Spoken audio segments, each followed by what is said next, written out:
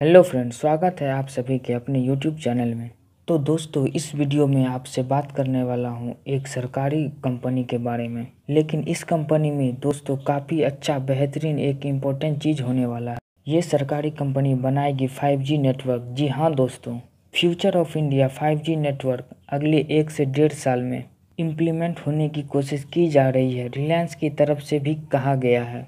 इसके साथ साथ Sterlite technology, Tech Mahindra, सब लोग मिलके काम कर रहे हैं। और साथ में इक्विपमेंट सप्लाई करेगी ये सरकारी कंपनी और इसके भी डेली चार्ट में आग लग चुकी है।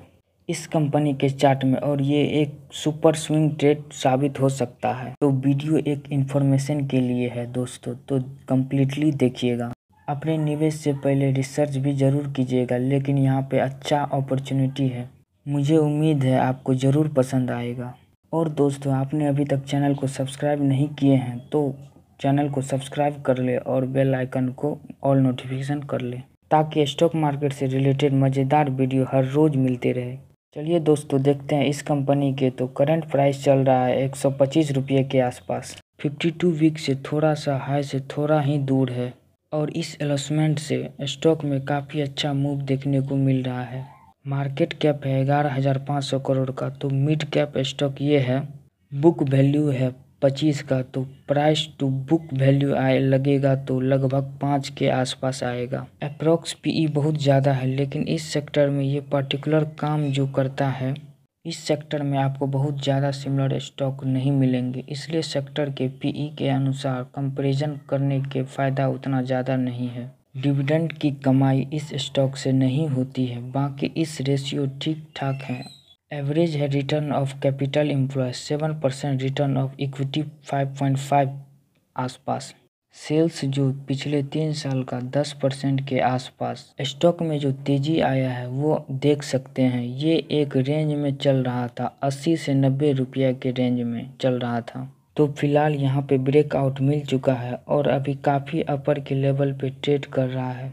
अभी तक तेज़ी यहाँ पे ख़त्म नहीं हुआ है, इसलिए मैं आपको कह रहा हूँ कि अभी भी एक स्विंग ट्रेडिंग का मौका इस स्टॉक में हो सकता है। और ये मेरी एनालिसिस है, आप भी अपना एनालिसिस ज़रूर कर कर लेना और आपको सही लगे तो आप इसमें पोजीशन बना सकते हैं फ़िलहाल। इसके नंबर्स और भी देख लीजिए। बाकी के नंबर्स देखिएगा। पिछले पाँच साल का sales growth around eighty percent पिछले पाँच साल का profit growth is also around eighty percent net quantity ratio तो सिर्फ़ पॉइंट फाइव का है। कंपनी में डेथ की प्रॉब्लम बिल्कुल भी नहीं है। टैक रेशियो भी उतना खास नहीं है। इसलिए ये स्टॉक मैं सिर्फ़ स्विंग ट्रेड के पर्पज़ के लिए रिकमेंडेड किया वीडियो के शुरुआत में।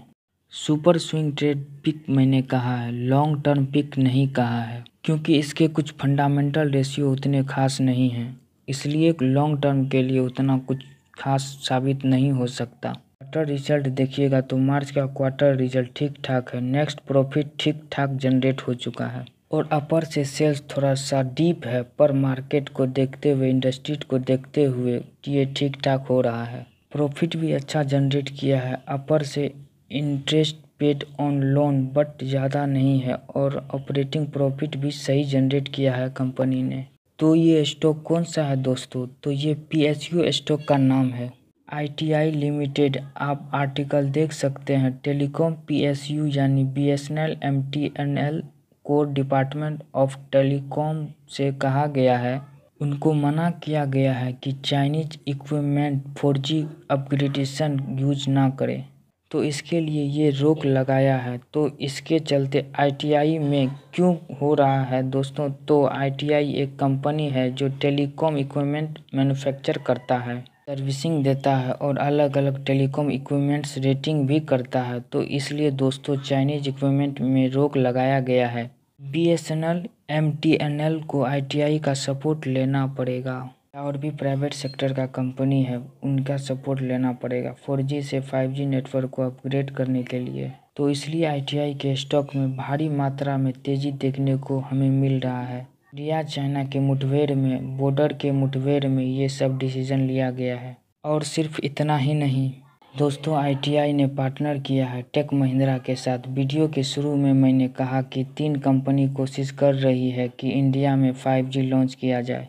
Reliance industry Sterlite technology, साथ में टेक महिंद्रा 5G इक्विपमेंट करना की कोशिश और टेक महिंद्रा के साथ आईटीआई ने डील साइन किया है, टाई अप किया है 5G इक्विपमेंट के लिए।